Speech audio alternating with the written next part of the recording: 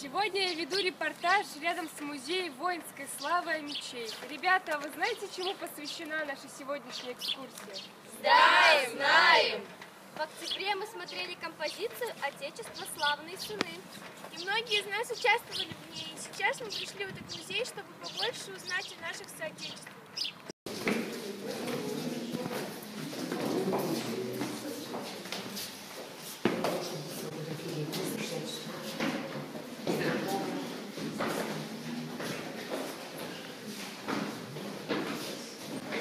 Мы пришли к нам в музей на экскурсию, которую мы назвали «Наличность памяти».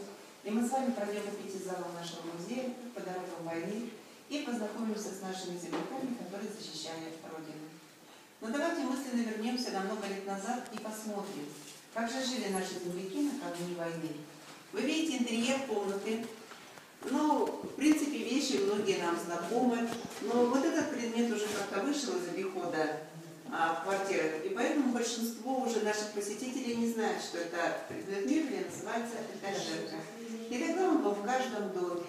На верхней полке находится радио, оно называлось радиотарелка. Ниже фотоаппарат Георгия Микельсона, который ему папа подарил прямо накануне войны, с которым он дошел до Берлина. Шкатулка самодельная, журналы того далекого времени, патефон, под который пели, танцевали люди того времени. Ну, а на, стене мы видим календарь, который записан на числе 22 июня 1941 год. Именно в этот день фашистская Германия а, в 4 часа утра начала бомбить наши города и села. Она напала на нашу страну внезапно, без объявления войны. И вот война уже шла по нашей стране, а наши с вами земляки еще ничего не знали. День был воскресный, и люди занимались своими делами. Только в 12 часов дня вот из продукторов, которые стояли на улицах нашего города, раздался голос Левитана, который сообщил о том, что началась война. И уже на следующий день выходит указ о мобилизации 14 возрастных групп. Но кроме тех, кто идет на фронт по повесткам, в военкомат отправлены тысячи добровольцев с единственной просьбой – отправить на фронт.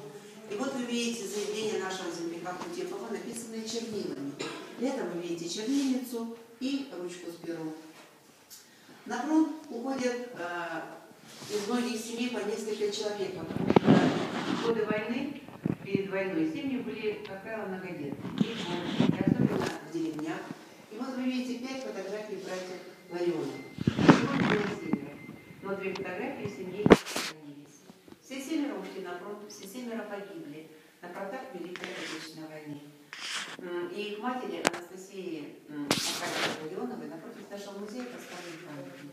Наверное, обратили внимание, да? Она стала как бы символом солдатских матерей, которые отдали своих детей родине, чтобы а, их сыновья защитили честь. И а, воевали на Центральном фронте, были самой молодой бригадой. А, возраст этих мальчишек был 18-19 лет.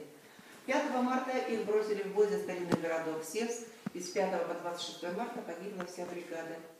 И была расформирована. Долгое время никто ничего не знал, как будто и не было этих трех тысяч мальчишек, погибших за свою родину.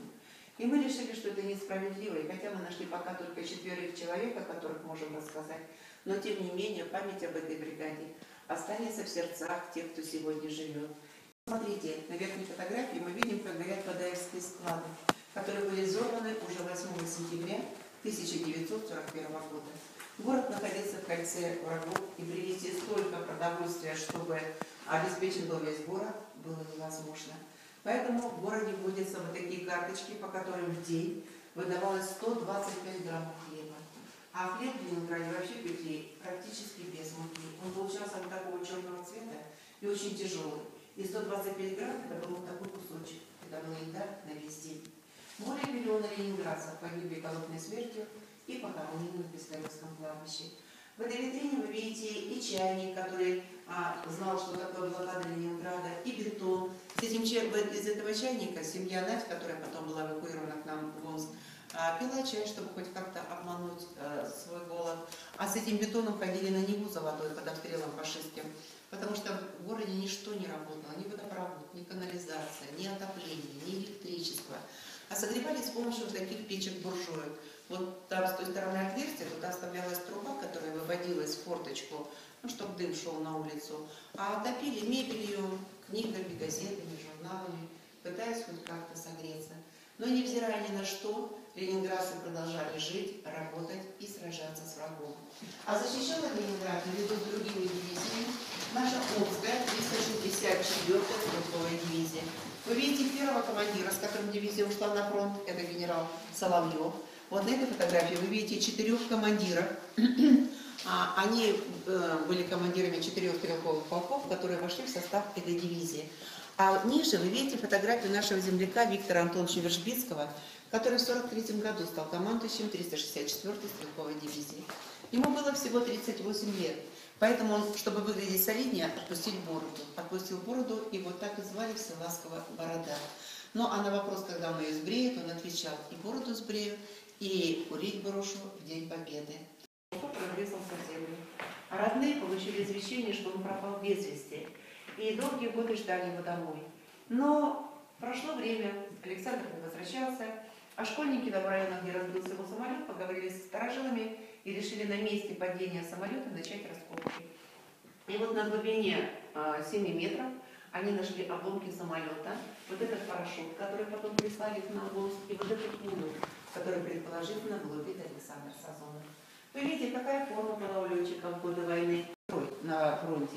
Она рассказывала, как вчерашний школец, девчонки маленькие, хрупкие, на своих плечах под обстрелом фашистских выносили с поля боя раненых, при этом нередко погибая сами. Вот вы видите Валю Гончарову, которая погибла, когда ей было всего 18 лет. Но она спасла вот этого лейтенанта Роскова, который подорвался на мине и потом перенес 19 пластических операций. А 2 февраля битва за Сталинград заканчивается победой наших войск. И вот вы видите пленных фашистских генералов. Посмотрите, как изменился облик фашистского солдата уже к концу 42 года. Посмотрите еще на один сапог, который тоже фабричным путем стал выпускаться в Германии, опять-таки для спасения ног фашистских солдат и офицеров. В этой битве за Сталинград с обеих сторон погибло около трех миллионов человек. И поэтому не случайно генерал Родимцев сказал, быть под Сталинградом и выжить – это все равно, что заново родиться. Под Орлом погибает командующий 308-й стрелковой дивизии Леонтий Николаевич. Он а, лично руководил ходом боя за Орел, когда раздался характерный свист и осколки мины впились ему в спину и висок. Его последними словами были «Я, кажется, убит, взять город».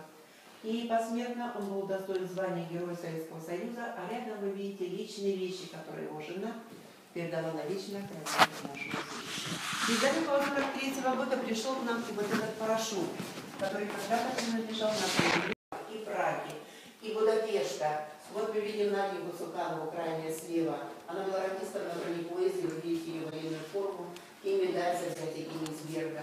А наш земляк Мазур, летчик, сражался за освобождение Болгарии. А, Николай, а наш земляк Лещенко сражался в войске польском и награжден польскими наградами, участвовал в освобождении Варшавы. Но а Николай Ященко был танкистом и участвовал практически во всех боевых операциях э, на территории Европы, и это подтверждает его боевые награды. 16 апреля 1945 года начинаются бои за Берлин. И в этих боях тоже принимали участие наши земляки. Герой Советского Союза, летчик Николай Кузнецов. Он погиб 14 апреля 1945 года. Его самолет был подбит, и он направил свою горящую машину на вражескую артиллерийскую батарею. Посмотрите на Георгия Михельсона. Помните, я в первом зале рассказывала про его фотоаппарат? Вот это именно он дошел до Берлина, участвовал в берлинской операции. Сейчас он живет в нашем городе. Ему 92 года. Посмотрите нашего земляка вы видите его летную книжку, его форму той поры. Он и два его друга сдали фонд а, обороны страны 100 тысяч рублей. Об этом говорит первая квитанция, телеграмма Сталина, который благодарит их за этот взнос фонд обороны страны. На эти деньги был построен самолет, на котором они воевали и с фашистской Германией, и с милитаристской Японией. Ну а 30 апреля 1945 года над Рейхстагом взвилось Красное Знамя Победы. И точную копию этого знамени вы видите в нашем музее. В Кархосте 8 мая был подписан Итак, наша экскурсия подошла к концу, и мне бы хотелось задать ребятам пару вопросов. Настя, скажи, что тебе больше всего понравилось в рассказе экскурсовода? Мне очень понравилось точное донесение информации в виде интересного рассказа, а также мы много узнали нового о наших героях и мечах, которые участвовали в вели- в великом сражении с фашистами. Да, меня тоже удивило то, что много наших амичей отправились на фронт. А, э, Ксюша, скажи, какие экспонаты тебе больше всего понравились в музее? Ну, вообще мне понравилось все, но больше э, впечатление на меня произвел, наверное, все-таки хлеб. А, Люди голодали, умирали от голода. А мне очень понравился а, последний зал, где были изображены, а, были повешены фотографии, то есть редкие фотографии, на которых э, были изображены люди, которые были счастливы этой победе, которые встреча- встречали своих героев. А также мне понравилось, э, по- понравились ордена, которые были, которые были нам представлены. Аня, а вы бывали в этом музее раньше? В этом музее мы бывали в начальной школе. И я думаю, что мы еще не раз здесь бываем на новых экспозициях. Я думаю, я выражу общее мнение, если скажу, что экскурсия в целом нам очень понравилась. И что... И вот.